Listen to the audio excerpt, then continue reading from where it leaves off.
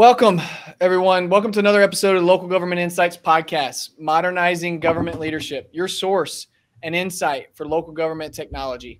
My name is Brennan Middleton, and today we have with us legendary public administrator Merrett Stierheim. Welcome to the show, Merrett. It's great to have you. Thanks for being here. Happy to be here. So, for those listening, real briefly here, Mr. Stierheim started as a government intern and rose to become the manager of what was the largest commission manager government in the United States, not once, but twice. We're going to find out how he did it, what advice he has for those interested in rising in the ranks of local government, and what he sees as the biggest challenges facing anyone today who serves in public administration. So we have lots to talk about. What's included, what's including is his encounters with three U.S. presidents and a Queen of England, and a whole lot more. So let's just jump right to it, if that's okay with you. All right. So you were the county manager for Miami Dade County and were responsible for running what you described as a $6 billion government with 27,000 employees. When you started working as an intern for the city of Miami, my first question was Did you ever think in your wildest dreams that one day you'd be running Miami Dade County government?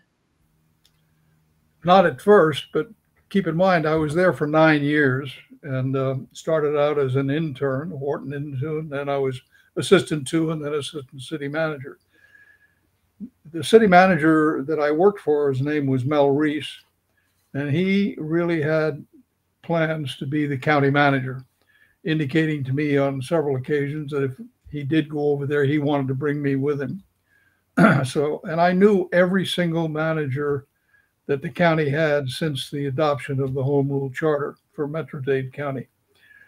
But towards the end, I did have thoughts that maybe one day that would be a wonderful career advancement and an opportunity. But you know, I didn't lose any sleep over it.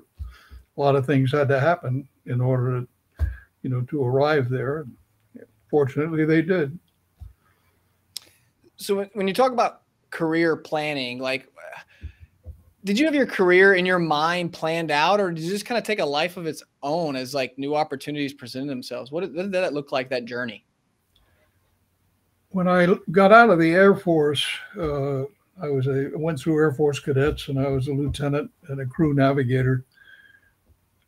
I really uh, my undergraduate degree was commerce and finance, and I envisioned a career in the business community, and uh, I wanted to go and and uh, and get my MBA uh, at at uh, Wharton, and I was accepted, but I didn't have enough money. And then I had received advice from a political science professor at Bucknell who advised me to fill out two applications and send the second application also to Wharton, but to the Fels Institute, which I did. And I had made an appointment to go to Wall Street with a two year training program when I received a letter from the Fels Institute wow. accepting me with a full scholarship. Wow. I wanted a master's degree, and here I sure. could get and yeah. he apologized. They'd given out the fellowships, but I could compete academically for one, and I got that. So I had the GI Bill, and I had a hundred and fifty dollar fellowship, and my wife and children, we could survive very nicely on that. That's fantastic. That's a great story, by the way. Um, let's jump over to my. Let's go back to Miami just for a moment. Like the, the journey you were an intern then assistant to the city manager then assistant city manager until you were offered the position as ultimately city manager at clearwater. That's correct. What do you think was my, my question kind of stems along that journey like what do you think was the secret to your success in miami that helped you rise to the ranks so quickly? Well we never had a lot of staff in the manager's office and um, so i had a lot of challenging assignments and yeah. um, so I had a lot of experience, nine years. Um, a lot happened during those nine years in the city and with the commission and so forth and so on. Um, I was very intent on continuing to learn and take opportunities. I had one experience where I, the manager told me early on, the first few months I was there, to go to a beautification committee meeting and I went there, and to make a story short, um, this chairman introduced me, and everybody was dressed up like it was a Sunday afternoon tea party or something. And he said, Well, Merrett Stierheim is here, and he's an assistant city manager, which I was an intern, and he'll have an answer to the question. And I didn't even know what they were talking about. And I, uh, it was very embarrassing. I uh, got out of there as quickly as I could. And within two days, I joined Toastmasters International. Now, I had wow. had debating in college and so forth, but that was one of the most educational and fun experiences of my life. I even created two uh, Toastmaster organizations in two of the jurisdictions that I later managed. Um, so I attribute that to part of my success. Uh, but I was, you know, ethically never really challenged in those nine years, and uh, but had a lot of good experience.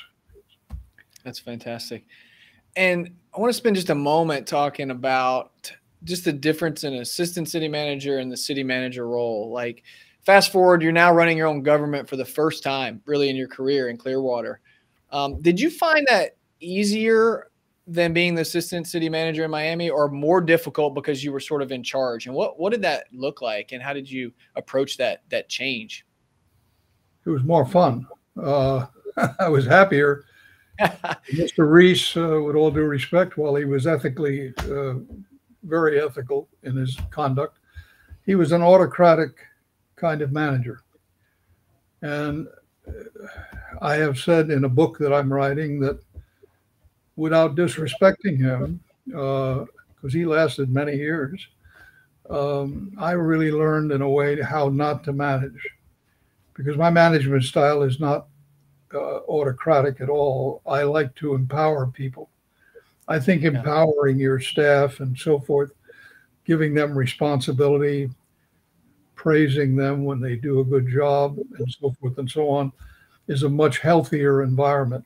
And I was able in Clearwater to apply those management principles in my, and I was very well received. I had a wonderful mayor and city commission that only wanted the right thing and the best thing for the city. So those six years um, were just a wonderful experience. I was very happy, um, and I was well received. I was very popular in the community and in in St. Petersburg and to the Tampa area. I built quite a bit of a reputation as a no nonsense but effective public manager. Right. That's fantastic. And from a career de- development perspective, Merrett, I want to I want to pick your brain for a moment for so a lot of our listeners routinely, you know, well over a thousand local government leaders like yourself and at all levels of government tune into this show. And some of the, the the most common feedback we get in the comments and some of the email responses to our episodes, we've had customers that uh, from Avenu who sponsors the show on. A lot of them are like, "Can you can you put out some informative uh, informative content around career development. And I'm so excited to talk to you about this because for anyone thinking of becoming a city manager, like particularly someone who's already an assistant city manager or department head or any really level, like what strategic advice would you give them to sort of win a position like that? That because as you know, they're, they're pretty hard to come by and probably more importantly, hard to keep once you have it, right? Mm-hmm. Yeah, I uh, I have watched uh, a lot of very young and professional uh, managers grow. When I was county manager in in uh, Miami Dade County, we would every year have seven, eight, nine interns. We would advertise nationally. We'd get as many as six or seven hundred applications for master's degree internships from the, the best colleges and universities across the country. Some of those people just kept coming up and getting promoted and so forth in the county. Some of them left to become city managers. Two of them became county managers later. First woman and another young man that uh, I remember meeting when he started, and then several years later, uh, he became the county manager. Um, we had a very progressive administration, very professional, I was not tolerant of any hanky panky or misrepresentations of the truth. I encouraged people. We even paid sometimes for a talented person to go back to college, go to night school. Um, we had training programs. I brought in some of the best uh, authorities in the country, people that have written books. I could mention names that uh, that some of their books are still selling and still very popular. To address all of my department directors and my executive staff, um, it was a wholesome and healthy environment. And you, you hit a key point there, and I kind of want to make a shift just for a, a few minutes. And and you talked about people transitioning from sort of city government to county government and vice versa, right? So after running Clear Clearwater for a bit as a city manager, you went off to be the county manager for Pinellas County. Uh, was there a big was there a big difference in running a city versus a county?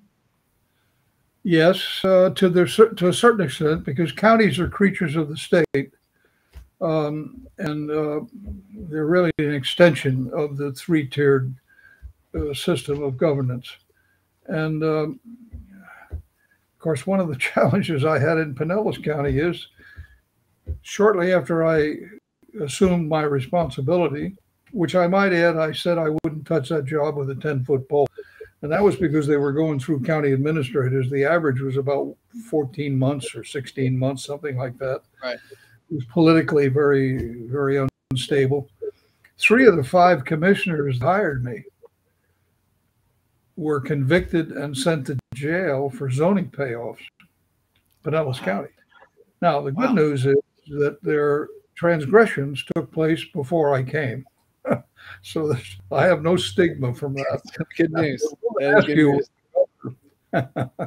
Reubin Askew was the governor, and he appointed three outstanding former mayor of St. Petersburg, a woman that was a former state senator, a a county commissioner who was a city commissioner when I was hired. He was one of the commissioners that hired me initially, and, and they were terrific. And we moved Pinellas County out of the Stone Age of politics and so forth. And uh, we got a lot done. I mean, there's a long list of accomplishments.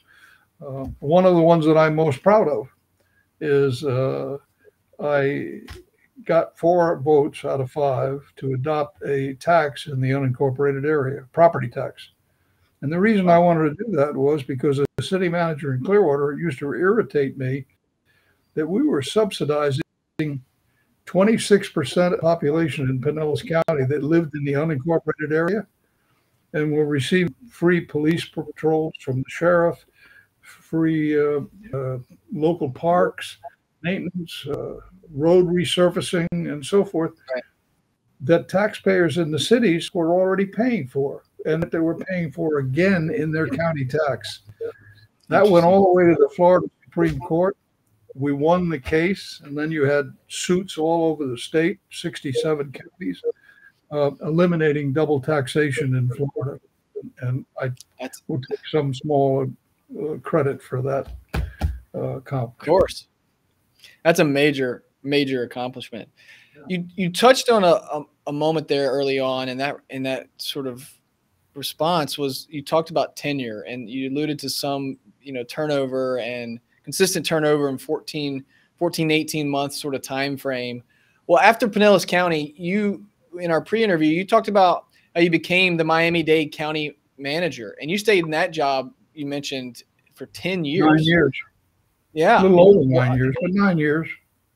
Yeah. So any any any thoughts on what led one, what led you to getting picked for that job versus many other you know worthy competitors? Like why Miami Dade County, and what led do you in your in your opinion, what led you getting that job? And kind of second part to that, if I can throw this one in there, is was there a particular set of accomplishments and skills that you had that you feel made the difference in you getting that job? Because that's a big, big role, big responsibility. Miami Dade County is one of the biggest counties in the country. Well. I, uh, while city manager of Clearwater and county uh, administrator of uh, Pinellas, I built quite a reputation, which was not foreign to elected officials and people in the know because I'd spent nine years in Miami. There were a lot of people there that knew me. Right. Um, and I was very involved uh, in the community, in the Chamber of Commerce and other organizations. And, and uh, So that helped. Secondly, Steve Clark, who was the mayor of Miami Dade County, and uh, for many, many years, he also was the mayor in the city of Miami and so forth. And um, he knew me. He was on the planning board in uh, Grapeland Heights when I was uh, working in the uh, in the city in, during those years, and uh, so he was up at the city managers conference up in it was up in Toronto or Quebec, I can't remember now, uh, and he interviewed me there. Interviewed several other uh, managers from around the country, and went back and recommended to the commission that they hire me. Before that happened, I went on down there. I met with every single commissioner. There were eight commissioners and the mayor, one on one. They were pleased enough that I was selected. And the next thing is history. I went down, spent nine years uh, in my first assignment as county manager. What's it What's it like running a six billion dollar government and over and and responsible for and managing the responsibility of twenty seven thousand employees? Like, what, what's that like? Well, part of the secret is to surround yourself with real solid professional staff.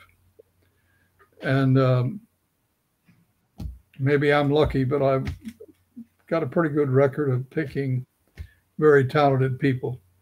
Not only talented at the time that they were selected and appointed, but they grew in the position. Yeah. That's one thing. Um, I had a reputation as a strong, ethical manager. In other words, I didn't play politics. Commissioner asked me a question, they get a straight answer. you never lie to an elected official, never lie to the press. It'll kill you. Right. Um, uh, try to do the right thing. When you're dealing with a, an issue, whether it's a bid, whether it's a new program, what is in the best interest of the city? What is the uh, county, the best interest of the people? That's just given. And whatever that best interest is, as best as I can determine it, that's where I'm headed. That's where I'm going. And I didn't roll over. I mean, I had Yeah. some real struggles with some of the commissioners because they, you'd have lobbyists and so forth and pushing to take this bid and get this bid and blah blah and so forth. I wouldn't, I wouldn't bend. I'd hang tough. And Yeah. uh, once in a while, you lose some. There's some that really became knockdown, drag out fights because lobbyists have a lot of influence with elected officials. It's one of the liabilities that we have today, and, and not only in the state of Florida, other work places, but in local government as well. Right. And being consistent, because what you're describing is truly your internal set of core values that you probably disseminated across your entire organization, which is is is sort of the lifeblood for how people operate, right? And then if you hold people accountable to that and you also live them out yourselves, you clearly create a network and you create a, a reputation in the industry, which clearly impacted where you were able to go across your career. Um, That's well said.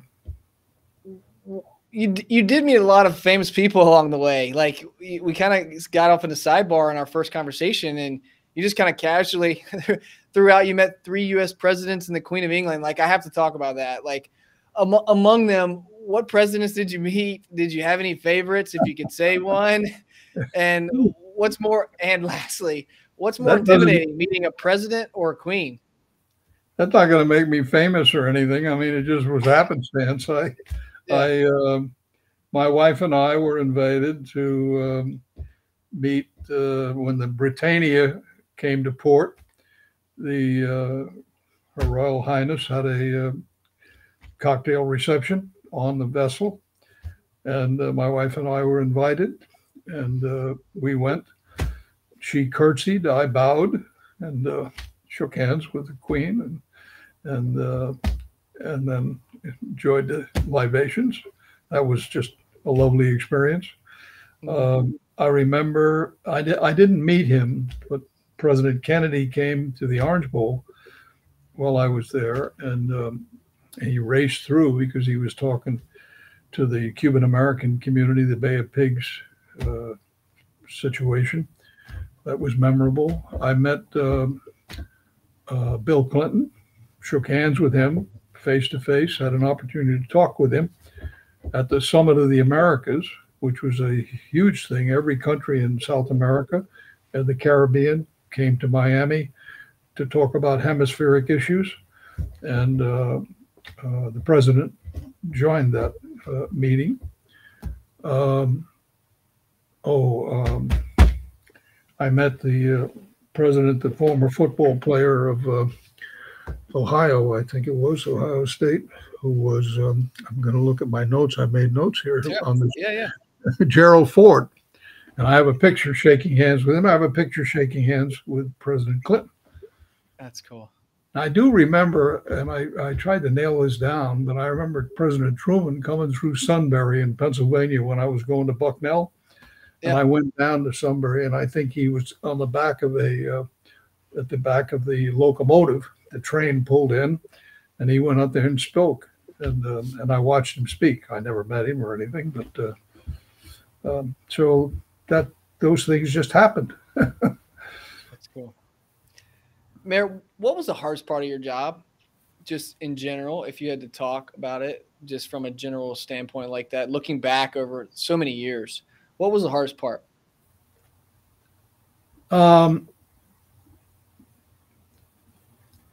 well, it's hard to say. I I had a reputation sometimes when I would read the newspaper and begin to wonder what meeting I was in um, that they were describing, um, because it wasn't the meeting that I remember, and uh, that would upset me. I mean, uh, I figured the media holds you responsible, holds me responsible to be ethical, not lie, tell the truth, act professionally, so forth and Yep. so on. I expect the same thing from the newspaper. And when you don't get it, then that bothered me. Now I I list that that may not be my first frustration, but that was a frustration, and the, the media knew it, and they would say uh, that I would throw a tirade or whatever. Um, but I uh, and that I was too sensitive. That was one of the criticisms that I got that I was a little too sensitive. I didn't feel like I was, but um, you know maybe I was. But I always thought it was for good reason. Um, uh, frustrations too with uh, false accusations, not just to me, but to the county or to my department heads or whatever. That was a that was a bit of a, a of a challenge. Um, I don't know. I I really love my work. I Yeah. was dedicated to it. I was a bit of a workaholic. Um, you answered going back to one of my strengths was delegation and empowerment. I mean, I really practiced that judiciously. I didn't want people around me that couldn't take responsibility and carry it out. I wanted decisions made at the lowest competent level. I don't want somebody as a department head that won't allow anybody to make a decision. Yeah. You're going to operate that way, go somewhere else. Uh, I want them to delegate and I want them to empower. Um, I can give you memos that I wrote uh, explicitly setting forth my management philosophy so they knew what I expected. And I expected them to carry it out in that fashion. Yep. Um, union negotiations were tough. Sometimes they'd be calling on the commission to fire me and this, that, and the other thing. Um, I had some very tough decisions to make. I fired a 14 year, uh, essentially a police chief whose title was Director of Public Safety. Um, because, number one, there were not enough um, black African American officers of command level in a, in a 2,700 uh, manpower um, police force. County police force was a big one, and um, and I didn't like his management philosophy. It didn't agree with me, and what how I operated. He was too autocratic and uh, Yep. too slow in implementing change. So I, I had my share of challenges. Uh, I don't know and, if I answered your question. I no, no, that that's great. And I'm gonna kind of combine a, a, thought here. Um, let's talk a little bit about like controversy. Like clearly in like big time roles that you were where you were in at the at Miami Dade and all all of the subsequent roles, like there had to be some form of controversy along the way. Like, could you highlight any any major controversies that you faced along the way that could maybe help those that are listening, like with how you handled that, or maybe something to to that they can expect uh, to potentially happen? Like, what were some big controversies that you faced? Well, the uh, where I fired that director of public safety, there were immediately petitions from citizens and organizations that he was in, urging the county commission to fire me and uh, bring him back. Uh, and he played golf with the publisher of the Miami Herald. He played golf with my mayor. I mean, uh, I was dealing with uh, someone that had a pretty good reputation in the community, but the community didn't really know how he was running that department and uh, the appointments that he made. And he made commitments to me that he didn't complete. And uh, finally got a point. I didn't. I offered. I said, You "Look, take 90 days, go around the country, and get another job." and I'll come to your going away party and say nice things because he did do uh, some right things initially. I think the department was corrupt 14 years earlier, and he cleaned it up. So, uh, but that was one. I had the second my second tour as county manager. I'm getting ahead of myself now. I really That's had a bare tail on the bid we had for uh, payphones at the airport, seaport, and our jails. Bell South had contract unbid for buku years. And I just knew that we could get a better deal, maybe from Bell South, but from other co- companies if we put it out for bid. I finally got the commission to go along with that. Yep. And I mean, it was a knockdown, drag out battle from that point on uh, AT&T bid 70 million dollars over 7 years, 10 million a year with 10 million up front. Clearly the best bid. Sprint like 3.9 million or something like that and Bell yep. South lowest bid. But Bell South had some powerful lobbyists that were really tied into some of the commissioners and my executive mayor. And they all wanted Bell South to get a piece of it. I said, no, I drew a line in the hmm. sand. I mean, yeah. it could have cost me my job. Um, but sometimes you've got issues where you just can't bend. And um, and I took it on. I took it on in the media. I took it on publicly. Yeah. And ultimately, AT and T got the bid. What fun. Right. But persistence obviously paid off in the end. It's clearly. Um, so I think that kind of leads us into just kind of uh, sort of final remarks here. Like, what advice would you offer public administrators, you know, people looking to serve in leadership roles in local government? Just in summary, like, just what advice would you give anyone listening to this show or digesting any bits of this this content that will will obviously share out on multiple different channels? But what advice would you give to people looking to serve in leadership in local government?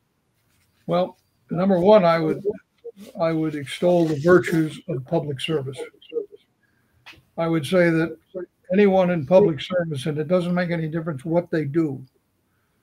I'm talking about people that pick up the garbage, uh, people that patrol the streets, people that protect homes from fire, um, people in public service at whatever level. When you put your head on a pillow at night, you sleep soundly because you have a it's a calling. Public service is a calling. It's like a priest or it's like uh, you know people that are really teachers that are dedicated to teaching that's a calling. And um, so it's an honorable profession and it's important. It's how cities function and how states function. So i'm a champion of public service and i try to extol its virtues. And I've had influence on people. People have come to me years later and said, you know, I heard you make that speech and uh, it affected me.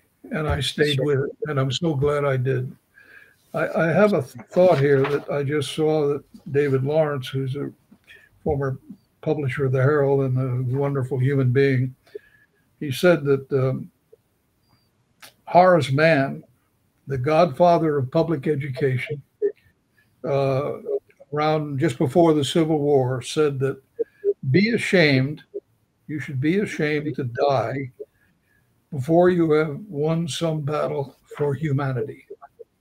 Hmm. What a powerful, powerful. statement, right? Well, Very I would powerful. submit to you that people in public service do something for humanity every day.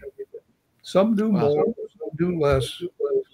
I mean, I've given my life to public service, and I've enjoyed it. And a wonderful trip, and it made a lot of people happy. You know, I mean, what else can I say?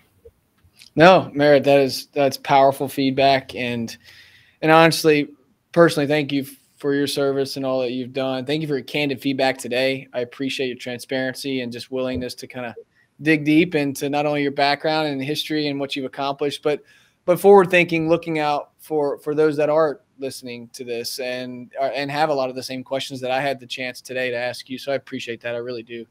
I um, I, I want people to read my book.